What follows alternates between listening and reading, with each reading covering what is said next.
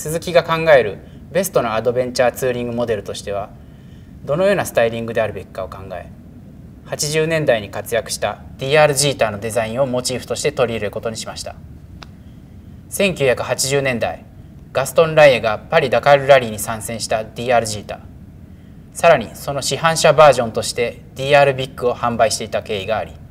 当時はそのくちばしのような特徴的なフロントカウルが二輪業界に大きな影響を与えました。今では他のブランドが模倣して一般的に異なっていますがもともとはこのくちばしデザインは鈴木のオリジナルのものであり鈴木のアドベンチャー精神を表すものであります。もう一つの鈴木のアイデンティティとして縦2灯のヘッドライトも採用しています。はやぶさや GSXR 等で定着している鈴木らしさの表現の一つです。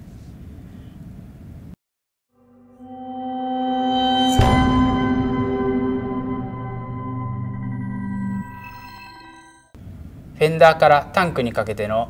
アルミパネルは、え、車全体の中でアクセントとしてくちばし部分とタンクをつなぐ部品として盛り込みました。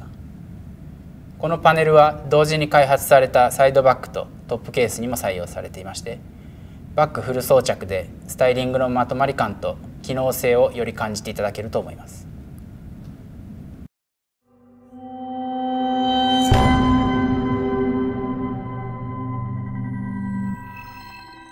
アドベンチャーツーリング機種というのは走り出してしまえば快適なんですがまたがる前走り出す前というのは大柄で威圧感を感じる機種が多いですよね、えー、この V ストロームは V2 インならではのスリムさからくる足つきの良さ、えー、軽量な車体からくる取り回しの良さが、えー、大きな特徴の一つです。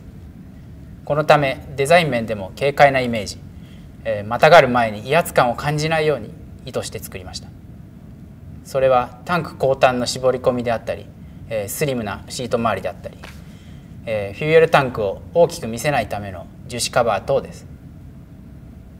実際にまたがると足つきはいいですし引き起こしもとても軽いですよ。